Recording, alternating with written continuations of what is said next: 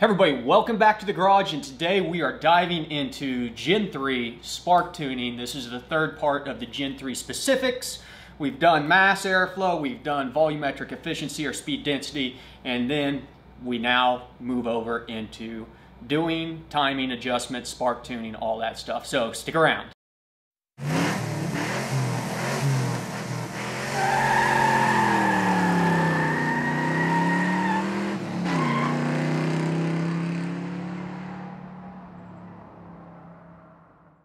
Everybody, welcome back to the garage, and I just wanted to take a minute to thank all the new subscribers out there. We've just been getting droves every day. You guys are awesome. Also want to thank the new patrons. If you're interested, uh, check out the link below to our Patreon. We've got a drawing happening at the end of the month where we're giving away the GT45 Turbo that we use for the Project Super Auto build. So if you want a chance to win that, check that out. But as I said, thanks for all the new subscribers. If you haven't subscribed yet, hit that button down below. Make sure and click the bell to get notifications whenever new videos go out. But for now, let's get the disclaimer out of the way and then dive into tuning Spark. This video is intended for educational purposes only. Improper tuning can cause catastrophic mechanical damage and you should do your own research before attempting any changes like this to a vehicle. Attempt custom tuning at your own risk. Okay, now that that's out of the way, I've got pulled up here, it looks like a 2003 Silverado. Uh, this is probably stock, uh, but a P59 ECU. The P01 is going to be about the same all Gen 3s are pretty much going to be the same on this. So this is pretty straightforward. The big thing about tuning for Spark though is to make sure beforehand that you have all of your fueling dialed in and spot on. If you have fueling issues before doing Spark or while you're doing Spark, you're going to actually get bad readings because you could be creating false knock and things like that because of the fueling. So make sure, get your fueling dialed in, get all that stuff knocked out. Uh, the other thing about that, you know, doing Spark, uh, and I've talked about this in some of the other videos, is this is not the most efficient way for tuning uh, Spark. Your ignition, really what we do on this whenever we don't have access to a dyno, normally if you have access to a dyno, you make adjustments until you see your power uh, peak out, and then that's kind of whenever you know that you've reached the max amount of advance that you can do on your setup. Since we don't all have access to a dyno, what we tend to do is we just keep on adding advance until we start seeing spark knock, then we pull the spark back a little bit, and that's the most advanced that we can run. That doesn't mean that that's the, the peak power that can be made on ignition uh, timing advance. So this, as I said, is just kind of how to get it dialed in uh, for street tuning. So if you don't know how spark works, basically what you're doing is you are setting the timing in which the spark plug triggers to ignite your mixture. And as you, uh, as your RPMs get higher, you have to advance that spark in uh, basically anticipation of having max uh, ignition at high at max compression. So it's kind of like we're trying to time it perfectly so that as the piston rams up and compresses everything, we need to kind of pre-ignite that mixture so it hits its max amount of power at top dead center of the piston to drive that thing down. That's kind of a loose way. There's, you know, a more uh, there's a more elaborate explanation out there. I'm That's not what we're here for. I'm not going to get into that, but that's why we advance timing. But since we can't see power directly, and especially on the Gen 3s because they don't have, they don't, they are not torque based, we just have to make some uh, general assessments or uh, guesstimates on when we can uh, advance more power. So I've got this opened up and we are under the engine, spark, and advanced tab here. We're basically just gonna be working with the high octane and low octane tables. Uh, one of the things that you can do is to uh, make them match. Uh, this is just basically looking at octane performance. And in fact, I think they already match on this setup. I'm looking here. Yeah, there's a little more advanced up in the higher cylinder air mass stuff. But as I said, I like to generally make these things match because I'm always going to be running 93 on my, my stuff. If you are running uh, 89 and 93, you might keep the differential the same between these, but you can still make the changes uh, across the two. You don't have to make a match, but if you add two degrees to the high octane, you can add two degrees to the low octane. Or you can just tune the high octane table and leave the low octane table stock to be safe.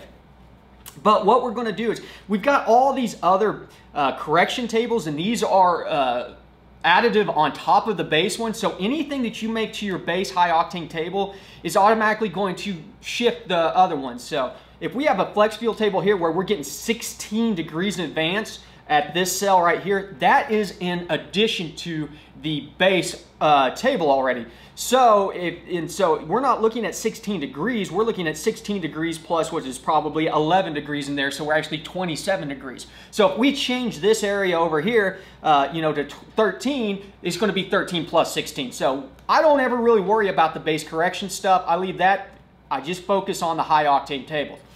So that being said, we need to set up the histograms for this. Uh, let's go ahead and open up our high octane table. We'll jump over to the scanner. The scanner, this is a scanner for a different vehicle, but the same setup. And that's because this scan already has the PIDs that you need to log. The PIDs that you need to be logging are cylinder air mass, and in this case, on the Gen 3s, RPM, timing advance, knock retard. Let me clear these graphs out. We don't need all these, and we're gonna reproduce this spark retard map uh, specifically to this setup. So let's go in here, let's add a new table, and our main parameter for this one is going to be timing advance. Mm -mm -mm timing advance. Here we go under spark and ignition.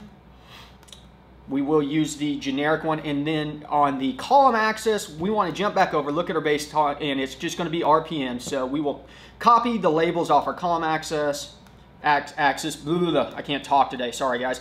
And we'll put RPM in here. Yes, we'll use the generic and then paste in our separators there. And then same ordeal. For the row axis, we're going to be cylinder air mass. So let's copy that one over. Cylinder air mass. There it is.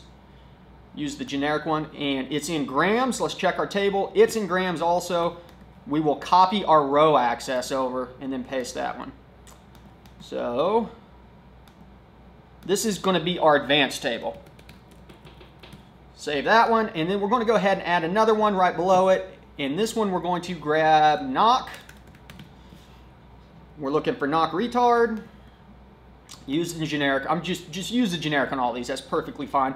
And same ordeal. This one's going to be cylinder air mass. We paste those back in, and then RPM. And I will just grab the RPM from the advanced table, copy those over, Control A, Control C, and then Control V, and we're done. We got two graphs here. The advanced table lets us go in and look and make sure that we are hitting the advance that we should be. This is I like to do this uh, just to kind of give an idea of whether or not we are uh, achieving the maximum amount of advance that we should. As long as your uh, Spark retard table is empty, which this one's not, and I'm going to show you something. We're going to go in on the retard table and we're going to do a high value. We're going to put that to 10 and we're going to make it red. And the reasoning behind that is, is now, well, let's put it a little bit lower, less than 10. Let's try it. We'll put it to 2. There we go. That's better. So now we've got some red shading where we have some knock. And as you can see on this one, there is some knock. This is the amount of timing that is being pulled out of the timing table because there is detected knock in there. And so what we'll generally do is we'll come back into this table and on the base one, select the whole thing. And I like to add, say, one or two degrees to the whole table. Boom, add a degree in there, and then go out and log using these two histograms. You can use this one to make sure that you're, you're seeing good numbers in there. You should be achieving kind of what your base table is plus any modifiers. So if you are, uh, if everything is working right, you should see higher than numbers than what's actually in your base table usually because there's gonna be those additional tables on there.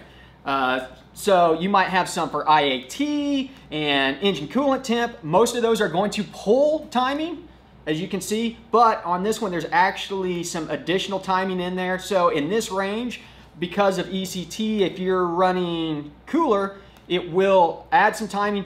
If it starts running hot, it will pull timing. So if you open up your scan and you look at it and it looks like you are getting less than what is in your base table, something is causing you to pull uh, timing out. And that's when we jump over to the retard table. And if there is nothing in that area showing that it's knock, that means it's something else. IATs are too hot, uh, engines running too hot, things like that. We can then investigate some of the different things that might be causing. And that's the cool thing. You can go back into your log. You can log your engine coolant temp, your you know your IATs. Like we're at 199. We can use that to reference back to our ECT And at 199 to 203, we should only be pulling 0 to 1 degrees of timing from the base table. So if you're pulling more than 1 degree of timing from the base table, check out your IAT temperatures.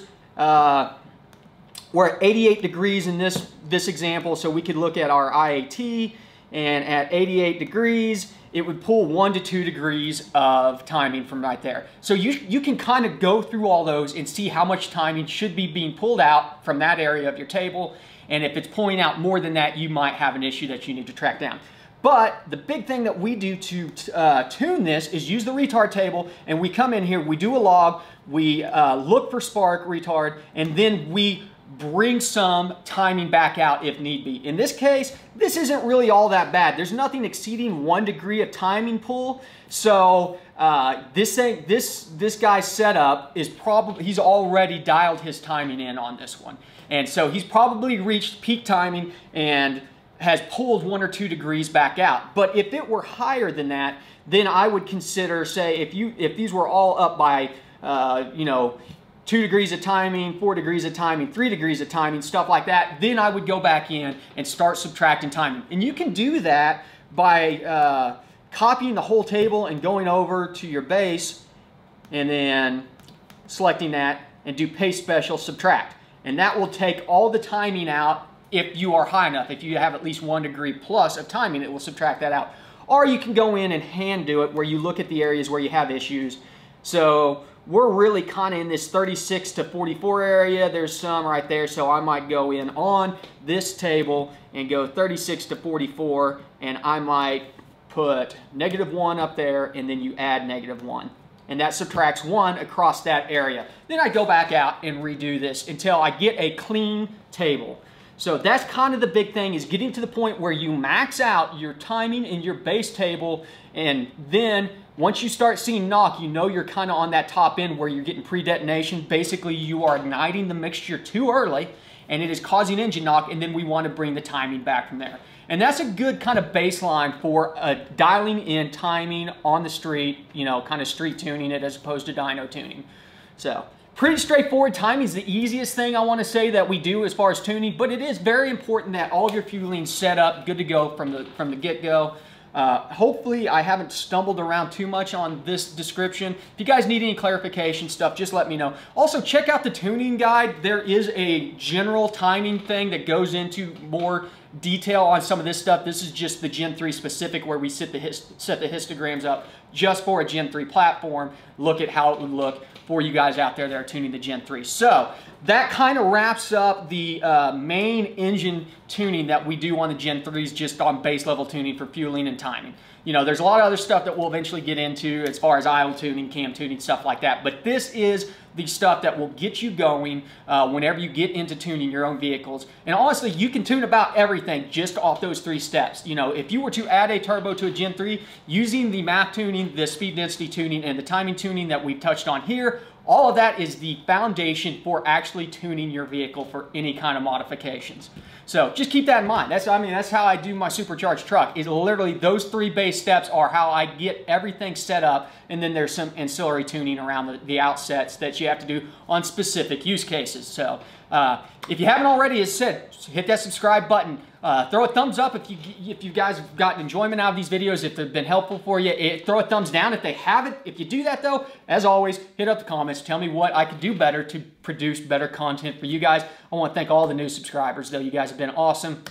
Check out the Patreon if you want to support the channel. And, uh, you know, stick around. There's a lot more content coming out. I know, I know, I know. I hear you guys. I will get some transmission stuff out. I've warned you in the past that transmission tuning is not my strong suit, but I can give you some tips and tricks on some of this stuff to get better shifts, quicker shifts, things like that. So I will have some videos coming out there. I need to do some more torque management videos.